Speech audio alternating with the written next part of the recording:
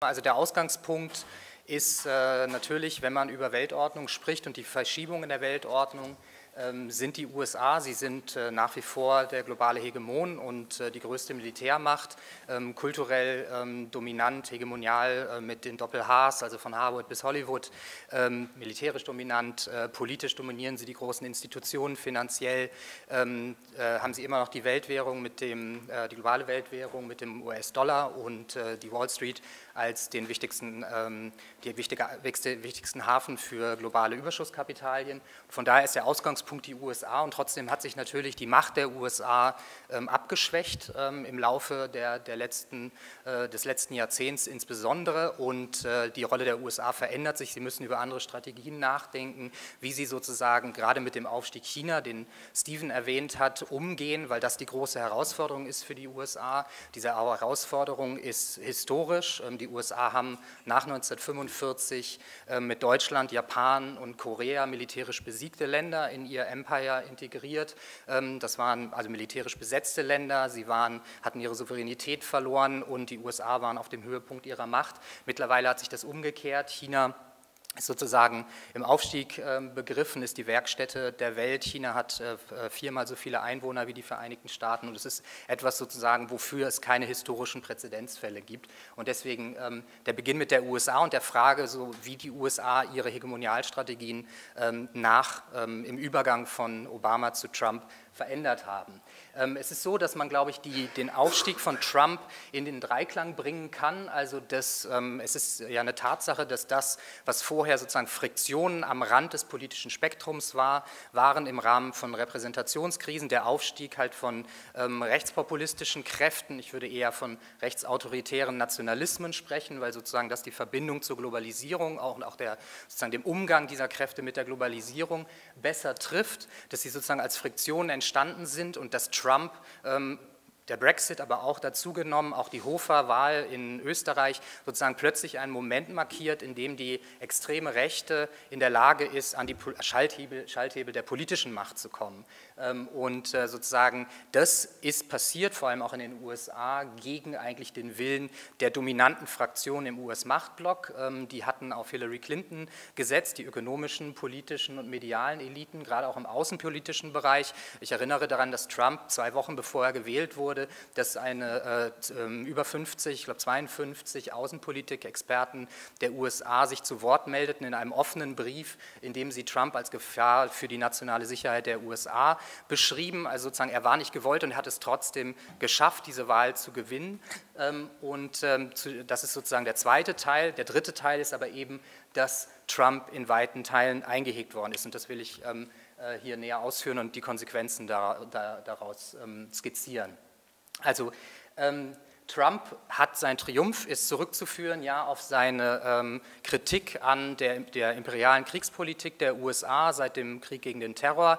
Ähm, er hat äh, die Position letzten Endes immer wieder vertreten. Wir haben 4,79 Billionen US-Dollar für diesen Krieg gegen den Terror ausgegeben. Ähm, am Anfang haben wir es mit einem Netzwerk von etwa 100, äh, ein paar hunderten Al-Qaida-Terroristen zu tun gehabt. Ähm, jetzt haben wir es zu tun mit einem oder zu dem Zeitpunkt äh, mit äh, 30.000 IS-Kämpfern und äh, Sympathisanten des IS, ähm, in, die in die Hunderttausende gehen weltweit. Ähm, und das Geld hätte man noch besser in die Infrastruktur investieren können. Das hat ihm die Wahlen vor allem im Mittleren Westen gewonnen, ähm, zusammengenommen mit seiner Kritik auch eben am Freihandel, der im Mittleren Westen, die als bevölkerungsreiche Staaten ja auch wahlentscheidend waren, sozusagen ihn über die sozusagen die Wahlstimmen, Wahlmännerstimmenhürde gebracht hat und ihm dann eben diesen Erfolg gesichert hat, obwohl er nicht mal die Mehrheit der Stimmen ja bekommen hat. Ähm, er hat dann aber ähm, in der Realpolitik eine 180-Grad-Kehrtwende vollzogen. In der Außenpolitik ist es ja sehr offensichtlich geworden, ähm, mit äh, Syrien, aber auch mit Nordkorea. Er hatte im Wahlkampf gesagt, dass er sich nicht in einen Konflikt mit Nordkorea ziehen lassen wollen würde. Und ähm, besonders bemerkenswert aber eben ähm, ist, glaube ich, diese Kehrtwende ähm, im Rahmen seiner Kabinettsbildung. Trump hatte am letzten, äh, in seiner letzten Rede ähm, äh, im Wahlkampf, also am Wahlabend, gesagt, dass dies der Tag der Rache der amerikanischen Arbeiterklasse sei. Sie würde endlich zurückschlagen.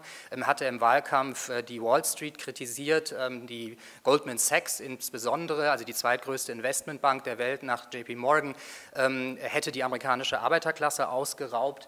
Und im Zuge der Kabinettsbildung sah das dann so aus, dass wir, Sie kennen wahrscheinlich alle das Zitat von Abraham Lincoln aus der Gettysburg Address, wo er sein Demokratieverständnis niedergelegt hat, ähm, also dass es in den USA eine äh, Regierung äh, durch, also des Volkes, durch das Volk und für das Volk gebe.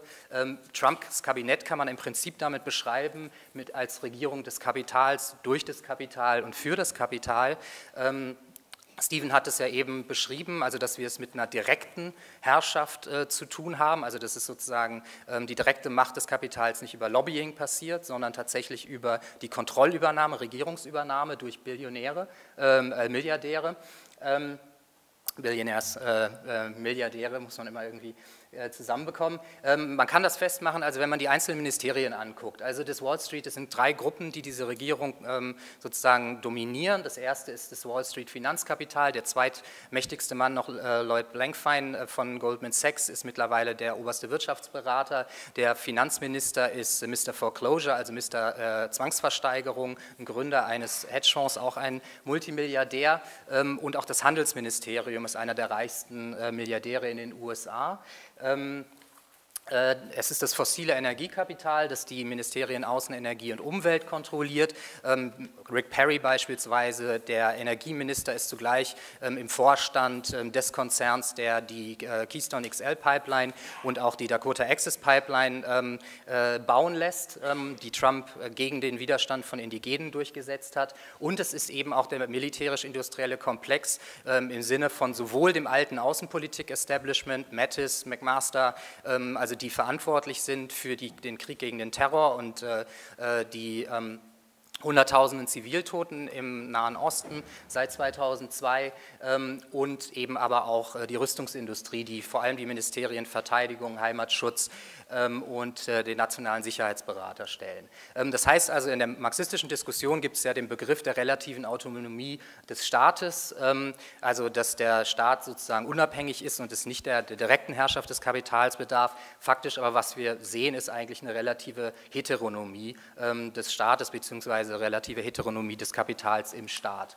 Ähm, die Trumpsche Politik, ähm, äh, Rainer hatte das ja eben gesagt, dass Kaiser von Siemens ähm, Trump äh, sozusagen beglückwünscht hat. Ähm, es gab auch die Beglückwünschung von Klaus Schwab, dem ähm, Präsidenten des World Economic Forum in Davos für diese Steuerreform. Ähm, und Merkel hat äh, gesagt, dass sie und Macron zusammen eben auch eine Reform äh, der Unternehmenssteuern äh, in Europa planen, also in Deutschland, Frankreich koordiniert. Ähm, tatsächlich ist diese Steuerreform das, wofür Trump plötzlich beglückwünscht wurde, als ähm, er hätte liefern müssen. So war ja irgendwie unisono so die Rede hier. Und jetzt hätte er seinen ersten parlamentarischen Erfolg. Die Unternehmenssteuer wurde jetzt eben im Ende Dezember von 35 Prozent auf 21 Prozent gesenkt. Äh, zum Vergleich unter Franklin Delano Roosevelt ähm, war sie bei, lag sie bei 39 Prozent, später dann bei 50 Prozent im goldenen Zeitalter des Kapitalismus, Ende der 50er Jahre. Ähm, der Spitzensteuersatz wurde von 39,6 Prozent auf 34 Prozent gesenkt. Ähm, äh, FDR, Franklin Delano Roosevelt, hatte einen Spitzensteuersatz von 94 Prozent, also mit dem die ganzen großen globalen Vermögen, die sich auch jetzt wieder angehäuft haben, abgeschöpft wurden und reinvestiert wurden in die Entwicklung der Infrastruktur. Und zur Infrastruktur kommen wir gleich auch noch bei Trump. Ähm, die Kosten dieser Steuersenkung wurden beziffert mit äh, 1,5 bis 7 Billionen US-Dollar. Ähm, und ähm, die Regierung hat es äh, mit einem einseitigen Papier die Position vertreten, dass das aber selbstfinanzierend sei. Also das war die Begründung, ähm, äh, ähm, so, also auf einem, einer Seite Papier. Ähm, tatsächlich hat die Regierung eine ziemlich klare ähm, Ansicht, ähm, wer diese äh, Steuersenkung bezahlen sollen. es gab 66 Sozialprogramme, wurden gestrichen von insgesamt 80 der Regierung und äh, insgesamt sollen 2018 26,7 Milliarden US-Dollar eingespart werden, von Kitas über sozialen Wohnungsbau, über die Gesundheitsfürsorge für die Armen bis zur Rentenversicherung und bis 2027 will die Regierung, äh, Trump glaubt, dass er so lange im Amt ist, 3,7 ähm, Billionen US-Dollar in den sozialen Sicherungssystemen einsparen, ähm, die zu zwei Drittel ähm, die unteren Einkommensklassen treffen, nach verschiedensten Analysen. Gleichzeitig, was die Trump-Regierung macht, das man, sollte man gerade, Stephen Gill hat äh, den disziplinierenden Neoliberalismus genannt, also wie die Vertiefung der, des, der, der Marktprinzipien funktioniert, äh, funktioniert es in den USA USA mit der Steuerreform über einen marktradikalen Föderalismus, in dem nämlich ähm, gerade die Bezuschussung für Studienkredite und die Bezuschussung für äh, Kindertagesstätten ähm, auf die Einzelstaatsebene verlagert worden sind. Die Einzelstaaten, die aber alle ähm, äh, Schuldenbremsen in die Verfassungen geschrieben haben, was bedeutet, dass sie sozusagen in Steuerkonkurrenz geraten und dass die ärmeren Staaten letzten Endes sozusagen ähm, gezwungen sind, ähm, Sozialabbaumaßnahmen zu machen in der ähm, die Bezuschussung von äh, Reproduktionseinrichtungen. Ähm, und damit haben wir sozusagen ein Riesenprogramm, das den, das Ziel verfolgt, ähm, des, den Wohlfahrtsstaat, die Rechte nennt das das Starving of the Beast, ähm, den Wohlfahrtsstaat ähm, zu ähm, erdrosseln. Jetzt ist die Frage sozusagen, die Eliten, ähm, gerade auch hier in Europa bekommt man den Eindruck, als ob Trump ähm, von sozusagen den Eliten ähm, abgelehnt wird ähm, und auch hier wird ja sozusagen mit Trump sehr viel Politik betrieben. Tatsache ist, dass in den USA das ähm, anders ist, also es gibt die Fraktion, die Steven angesprochen hat, aber der ähm, Chef, der, der Präsident der Handelskammer der USA, dem größten Lobbyverband in den USA, hat sich in seiner Jahresansprache vor zwei Wochen äh, mit großer Zufriedenheit über drei Aspekte geäußert. Erstens die Deregulierung, gerade im Umweltbereich, also die ähm, Eröffnung von Umweltschutzzonen für private Kapitalakkumulation, aber auch des Finanzsektors, ähm, über die Steuersenkung, aber auch über die Infrastrukturinvestitionen. Und das ist interessant, dass sozusagen Trump dieses, diese Idee, dass ähm, äh, die, äh, er in die Infrastruktur investieren will, nicht aufgegeben hat. Nun muss man sich aber da die Details angucken, weil wir denken bei Infrastrukturinvestitionen eigentlich an öffentliche Ausgaben Konjunkturprogramme ähm, in sozusagen Schulen, äh, Krankenhäuser und Straßen und so weiter und so fort, U-Bahn-Systeme. Fakt ist aber, wenn man sich, also die, ähm, äh, um das noch zu unterstreichen, die, äh, der Amerik die American Society of Civil Engineers, also der Ingenieursdachverband, hat im März 2017 ähm, die Position vertreten, dass in den USA Investitionen zur Zukunftsfestmachung der Infrastruktur im in der Summe von 4,6 Billionen US-Dollar nötig sein. Trump hat dafür tatsächlich ähm, ein, bis auf ein Programm, an dem er bis heute festhält, ein eine Billion Infrastrukturinvestitionsplan vorgeschlagen. Wenn man sich den aber genau anguckt, ist es eigentlich ein ähm, öffentliche private Partnerschaftssystem, ähm, das ähm, die äh, Privatisierung der Infrastruktur vorsieht. Der Plan wurde entworfen von seinem Vizepräsidenten Mike Pence, ähm, der das in Indiana vorgelebt hat. In Indiana wurden nämlich die ganzen Autobahnen ähm, privatisiert ähm, und äh, mit einer, also das, das, ist eine unglaubliche Skandalgeschichte, die man nachlesen sollte. Und das ist sozusagen die Grundlage für diesen Infrastrukturplan der USA. Ähm, ein weiterer Moment, der für die internationale Politik relevant ist, ähm, weil er dann eben auch die, die Reaktionen der hiesigen Eliten betrifft, ist, dass hier das häufig so dargestellt wird, als ob die USA unter Trump zu einem äh, Protektionismus übergegangen seien. Also den Isolationismus, dass das nicht mehr Teil der, der, der USA-Politik unter Trump ist, das, das, glaube ich, haben die meisten gemerkt, aber sozusagen es, es gibt den Glauben, dass Trump ähm, ein Protektionist sei und die USA abschotten wolle äh, vor der Globalisierung. Nun ist es so, dass im März 2017 der Handelsbericht ähm, der Trump-Administration rauskam, in dem ähm, die Position vertreten wird, dass das Ziel der Handelspolitik sein müsste, ähm, unfaire Handelsbarrieren abzubrechen weltweit und die US-Exporte zu steigern und mit der besonderen Betonung vor allem der intellektuellen Eigentumsrechte. Das betrifft natürlich die globalen Giganten, die natürliche Monopole sind, Amazon, äh, Google und so weiter, die äh, in, sich in ihrer Expansion behindert sehen. Ähm, und was eigentlich die USA machen unter Trump, ist in meinen Augen ist ein Neo-Reaganismus. Ähm, also dass sie drohen im Prinzip, ähm, sie äh, äh, verfolgen einen Handelsbilateralismus, sie bieten sozusagen den einzelnen Ländern bilaterale Handelsverträge an, auch Deutschland. Das hat ja hier für viel Aufsehen gesorgt, dass Trump nicht wusste, dass äh, Deutschland solche Handelsbeziehungen nicht bilateral machen kann, sondern nur über die Europäische Union. Aber sozusagen, es ist das Ziel, mit dem US-Binnenmarkt bessere Konditionen, Handel Handelsbeziehungen, insbesondere bei Eigentumsrechten, für sich ähm, zu erwirken. Das die, haben die USA unter Reagan schon gemacht, gegen Japan, Japan insbesondere, ähm, um Japan dazu zwingen, ähm, Handelsbarrieren einseitig abzubauen. Und äh, wenn man sich dann anguckt, inwiefern gerade in der Eurokrise Deutschlands Abhängigkeit ähm, sich verschoben hat zu den USA, ähm, der deutsche Handelsüberschuss ähm, gegenüber den USA hat sich seit Beginn der letzten Krise, seit 2007, ähm, das sind die, best, die, besten Zahlen natürlich, weil man das Vorkrisenniveau nehmen muss, hat sich um 43 Prozent bis äh, zu diesem Jahr gesteigert im letzten Quartal. Und äh, der chinesische Handelsüberschuss hat sich um 46 Prozent im selben Zeitraum gesteigert gesteigert. Das heißt, die USA ähm, nutzen hier die gewachsene Abhängigkeit. Man äh, ist so geneigt zu sagen, dass der Handelsüberschuss der USA eine Schwäche der USA sei. Aber wenn man sich überlegt, dass der US-Binnenmarkt eben so groß ist und die Exportabhängigkeit ähm, der anderen Staaten so stark gewachsen ist, ist es durchaus auch eine, eine Stärke, mit dem sozusagen die USA sich bessere Konditionen im Freihandel sichern können. Das heißt also, es ist eine Art von Neo-Reaganismus und die Betonung, wir haben bei dem Davoser Weltwirtschaftsforum 2016 hat Xi Jinping ähm, ja eine große Multilateralismusrede gehalten, 2017, dann, äh, 2018 ähm, jetzt eben ähm, Merkel und Macron, und das ist in meinen Augen, muss man einfach als rivalisierende Gegenstrategie gegen diesen Versuch der USA, sich verbesserte Handelsbeziehungen ähm, zu äh, sichern, ähm, interpretieren. Ähm, und tatsächlich, wenn man die US-Handelskammer ähm, wieder nimmt ähm, in einem äh, Papier zur Bewertung der, nach einem Jahr der Handelspolitik von Donald Trump, wird davon gesprochen, dass man es wertschätzt, dass er die Exporte ausweiten will, dass er den Zugang zu ausländischen Märkten vertiefen will und dass er den Handel erweitern will. Und man spricht sogar von der Begeisterung über Trumps Handelspolitik. Und tatsächlich diese Begeisterung teilt das Kapital insgesamt. Der Dow Jones ist ähm, auf dem höchsten Stand äh, gestern gewesen, ähm, seit, ähm, äh, also in, in, historischer Zeit, ähm, auf 26.392 Punkten.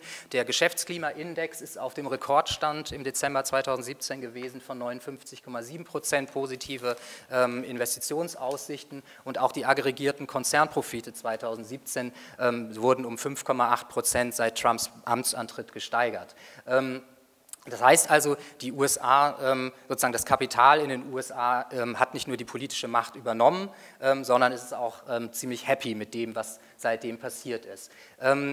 E-, ebenso ist es in der Außenpolitik, dass sozusagen Trump ähm, äh, in dieser Richtung die Kontinuität, also vor allem in der Kontinuität ähm, der bisherigen Regierung steht, in der Konfrontation mit China aber rigoroser und konsequenter vorgeht. Also ähm, wir erinnern daran, dass Bush äh, ähm, schon 2006 ähm, eine kleine NATO gegen China gegründet hatte mit dem Bündnis äh, mit Japan, Australien und Indien ähm, und dass Obama und Hillary Clinton 2011, 2012 nach der austeritätspolitischen Wende ähm, einen Schwenk nach Asien vollzogen haben und im Prinzip systematisch versucht haben, China ähm, einzukreisen, also vor allem durch bilateralen Militarismus, also Militärbündnisse von Darwin in Nordaustralien über Guam, äh, Vietnam, Singapur bis Okinawa, der Militärbasis in Japan.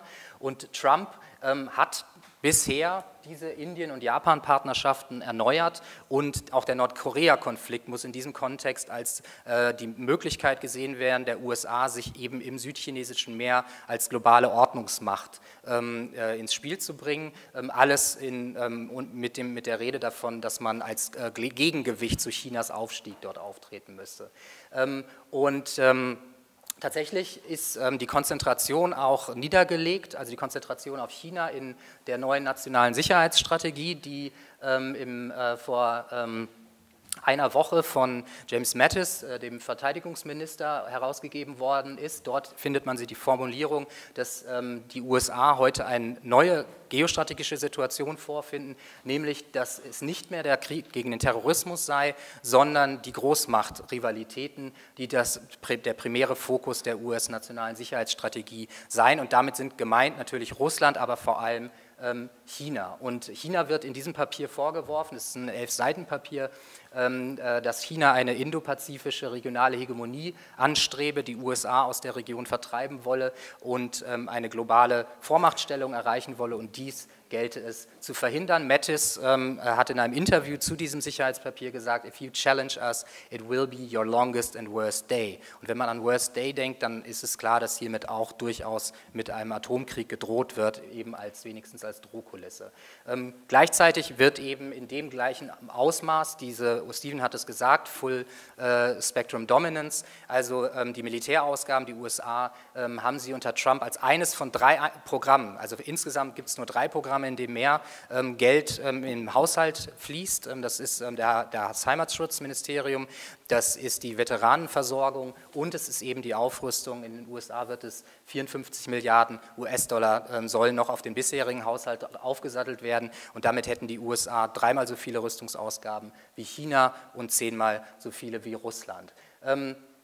Ganz zum Schluss nur noch ähm, zu den äh, globalen Auswirkungen davon. Was wir erleben ist, dass, die, ähm, in, dass wir es mit einem globalen Kapitalsteuersenkungskrieg, so wie es Forbes Magazine bezeichnet hat, die Formulierung ist nicht von mir, ähm, äh, und die Financial Times hat in einer Studie berechnet, dass von 35 OECD-Ländern alleine 2017 acht Länder ähm, ihre ähm, Unternehmenssteuern gesenkt haben. Ähm, und ich hatte bereits erwähnt, dass äh, Merkel, was Merkel in Davos angekündigt hat, dass das äh, für Deutschland und Frankreich jetzt auch gelten soll. Und Kempf, der Präsident des Bundesverbandes der deutschen Industrie, hat im Handelsblatt verkündet, dass die neue Bundesregierung sich diesem verschärften Wettbewerb schnellstmöglich zu stellen habe und entsprechend ebenfalls die Unternehmenssteuern senken müsse. Also der Druck von Kapitalseite ist auf jeden Fall da. Ähm, Gleichzeitig ähm, reagiert die Welt auf ähm, die Aufrüstung in den USA. Wir finden ein globales Wettrüsten. Das Stockholmer ähm, Friedensforschungsinstitut hat äh, diese Zahlen berechnet, ähm, wie die Rüstungsausgaben